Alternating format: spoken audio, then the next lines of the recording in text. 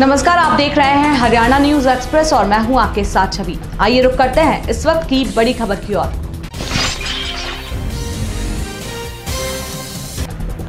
आम आदमी पार्टी से फरीदाबाद के चुनाव प्रभारी डॉक्टर अशोक तंवर ने फरीदाबाद में अलग अलग जगहों पर कई जनसभाओं को संबोधित किया और लगातार आम आदमी पार्टी को मज़बूत करते हुए नज़र आए। इसी कड़ी में वल्लभगढ़ के सेक्टर बासठ आशियाना में जनसभा को संबोधित करते हुए डॉक्टर अशोक तंवर ने आने वाले निगम चुनाव में आम आदमी पार्टी की पूर्ण बहुमत से जीत का दावा किया।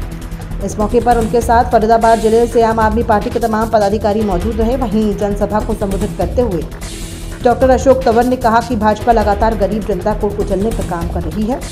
हाल ही में परिवार पहचान पत्र कार्ड के नाम पर गरीब जनता के राशन कार्ड काट दिए गए हैं तो वहीं लगातार महँगाई भी आसमान छू रही है। भाजपा गरीब और आम जनता की पार्टी नहीं, बल्कि बड़े बड़े उद्योगपति और व्यापारियों की पार्टी है। अशोक तंवर ने मीडिया से बातचीत करते हुए कहा कि आने वाले निगम चुनावों में फरीदाबाद से 45 वोटों पर आम आदमी पार्टी के प्रत्याशी चुनाव के लिए उतरेंगे और उन्हें पूर्ण विश्वास है कि निगम का चुनाव आम आदमी पार्टी के पाले में होगा।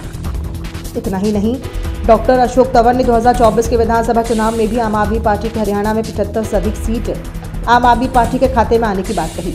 निगम के चुनाव को लेकर डॉक्टर अशोक तंवर ने कहा कि भारतीय जनता पार्टी डरती है, इसलिए तो वे पहले सरपंची का चुनाव लेट करवा रही थी। और अब निगम का चुनाव भी देरी से करा रही है। भारतीय जनता पार्टी डरती है।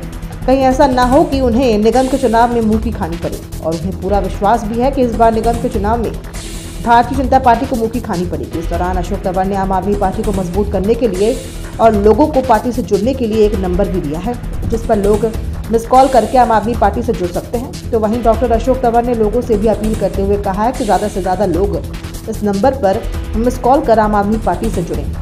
वल्लभगढ़ से हमारे संवाददाता विकास ओहलियान की रिपोर्ट।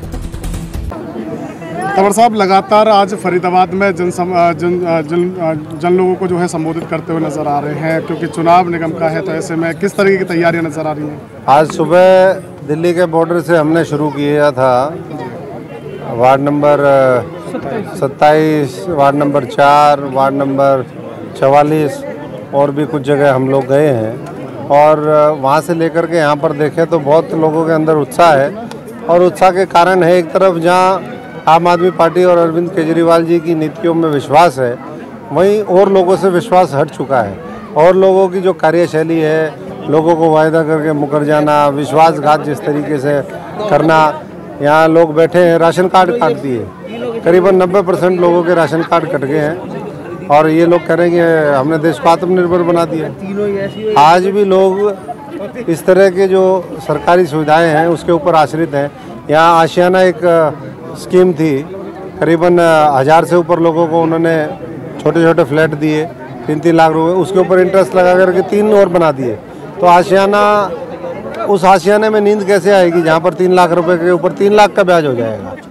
तो आज स्थिति बहुत दयनीय है। देश के अंदर भ्रष्टाचार, बेरोजगारी, महँगाई कानून व्यवस्था चरमराती हुई दिख रही है और बुनियादी सुविधाएँ तो आप देख रहे हैं कि फरीदाबाद का बहुत बुरा हाल है। इतना बुरा हाल है कि हरियाणा का कोई डिस्ट्रिक्ट ऐसा नहीं होगा जहाँ इतने बदहाली होगी। सड़कें टूटी, गलियाँ का आज तक बनी नहीं, गलियों में जल भराव, सीवरेज का पानी पीने के पानी के साथ मिक्स होकर के आता है। ऐसी स्थिति है और कूड़े कचरे के ढेर जगह जगह खड़े हैं, उस पर गौ माता, वो खाने पे मजबूर है जगह जगह आग लगाई हुई है। ना हवा ठीक है, ना पानी ठीक है, और ना यहाँ का जो है माहौल ठीक है। तो इसको बदलने के लिए मैं समझता हूँ कि लोग झाड़ू उठाएँगे और बदलाव की शुरुआत करेंगे। आज रेखा जी ने ये प्रोग्राम किया है, मैं उनका और उनके तमाम सहयोगियों का धन्यवाद करता हूँ। और साथ साथ जो हमारा सदस्यता अभियान पूरे हरियाणा में कल से लॉन्च हुआ, आज विधानसभाओं में उसकी शुरुआत हुई है। तो हमने सबको बताया, उसके अभी हमने मेंबरशिप सांकेतिक तौर पे शुरू करी है और सारे साथियों से आह्वान किया है कि सब लोग जाए जाके, हर घर को टच करें और फरीदाबाद अपने टारगेट से ज़्यादा आगे बढ़ कर के आए, ये मेरी उनसे गुजारिश रहेगी। दस लाख मेंबर हम बनाएँगे अगले एक महीने के अंदर। एक महीना, दस अप्रैल तक ये पूरी ड्राइव चलेगी पूरे हरियाणा के अंदर और, जो पार्टी की सोच है, वो लोगों तक हम पहुँचाने का काम करेंगे। कुंवर साहब आप मेहनत पूरी कर रहे हैं परंतु नहीं लगता कि बीजेपी निगम चुनाव कराना चाहती क्योंकि जिस तरीके की चीज़ें सामने आ रही हैं अभी तक उनकी तरफ़ से वार्डबंदी की जो नई लिस्ट है वो भी तैयार नहीं की गई है। क्या कहते देखिए बीजेपी तो चाहती ही नहीं ये तो आप बिल्कुल ठीक कह रहे हैं कि बीजेपी नहीं चाहती हम भी कह रहे हैं। बीजेपी अगर चाहती तो डेढ़ पौने दो साल हो गए चुनाव को लेट करते हुए। क्यों क्यों डर रही है बीजेपी ये बीजेपी को एक तो ये सूत आ गया है। उनको ये समझ में आ गया कि लेट करते रहो कोई फ़र्क नहीं पड़ता। सरपंचों के चुनाव में ऐसे ही किया पहले दो तीन साल पहले लेट किया एक डेढ़ एक डेढ़ साल एक डेढ़ साल अभी अभी लेट उन्होंने किया। और-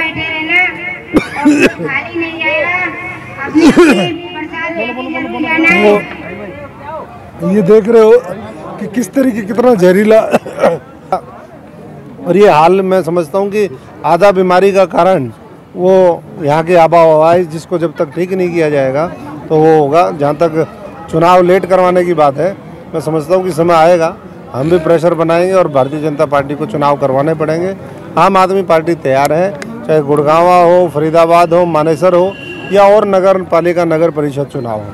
और यहीं से जो है, आम आदमी पार्टी 2024 की एक मज़बूत बुनियाद रखेगी इमारत खड़ी है उस पर चौबीस के अंदर हरियाणा के लोग करेंगे। और हमने कहा कि भाई वोटों की वर्षा जिसके ऊपर लोकतंत्र में जनता कर देती है वो सर्वोपरि होता है और वो अच्छे काम करेगा तो भला होगा बुरे काम करा होगा तो जैसा भी हो रहा है वैसा होगा। आप कह रहे हैं आम आदमी पार्टी मज़बूत होगी निगम में भी अच्छी खासी जीत मिलेगी परंतु वहीं बीजेपी की तरफ़ से ये कहा गया है कि हरियाणा में आम आदमी पार्टी का बिस्तर गोल होगा। क्या कहेंगे? देखिए बिस्तर तो किसका गोल होगा? जब तक आम आदमी पार्टी उनका बिस्तर गोल नहीं कर देती तब तक तो वैसे ही बोलेंगे। लेकिन जिस दिन दिल्ली की तरह और पंजाब की तरह बिस्तर गोल कर देंगे बिस्तर गोल गोल नहीं पता नहीं क्या लोग कैसा रोल बनाएँगे उसका। क्योंकि आपने देखा जब दिल्ली में सरकार आई आम आदमी पार्टी की तो सत्तर में से केवल तीन छोड़े थे। पंजाब में अभी 117 में से बानवे लोगों को जिता करके भेजा है। और और मुझे लगता है लक्ष्य हमारा आम आदमी पार्टी की पिछहत्तर जो ये कहते थे उसके वो तो ये कर नहीं पाए। लेकिन हम ये कह रहे हैं कि हमारे पिचासी से लेकर के नब्बे सीट के बीच में हरियाणा के लोग जिताएँगे क्योंकि उनको पता है कि ये पार्टी पढ़ने लिखने वालों की पार्टी है। इसको डिस्टिंक्शन के साथ जिताने का काम करना है। नब्बे परसेंट से तो कम देंगे ही नहीं। क्या क्या गठबंधन करके जो है पार्षद का इलेक्शन लड़ा जाएगा या नहीं नहीं हम तो अकेले लड़ेंगे। और गठबंधन के लायक कौन है? हमारे सारे चोरों के खिलाफ डकैतों के खिलाफ लड़ाई है। तो ऐसे चोर डकैत जिन्होंने भ्रष्टाचार किया लोगों के साथ बेईमानी करी लोगों को बार बार बरगलाने और झूठ बोलने का काम किया जनता उन्हीं से तो बचती हुई हमारे पास आ रही है। जनता यही तो कह रही है कि भाई हम हम जो है आपके ऊपर विश्वास कर रहे हैं उस विश्वास पे सिर्फ़ खड़े उतरना वो हम करके दिखाएँगे। एन एनएलओ भी लगातार कहीं ना कहीं अपनी पार्टी को मज़बूत करने के लिए। सब सब अपना अपना दायित्व तो निभा रहे हैं लेकिन आम आदमी पार्टी आम आदमी के साथ मिल करके आम आदमी का सिपाही बन करके मैं समझता हूँ कि मैदान में है और जो उनके लिए मैदान में है। और बहुत से लोग अपने अपने लिए मैदान में हैं। आम आदमी पार्टी इनके लिए मैदान में तो जो इनके साथ होगा वो। मज़बूत होगा। धन्यवाद। हमारे फेसबुक पेज को लाइक फॉलो और शेयर करें। साथ ही यूट्यूब चैनल को लाइक करें सब्सक्राइब करें और ताज़ा खबरों के लिए बेल आइकॉन को दबाना न भूलें।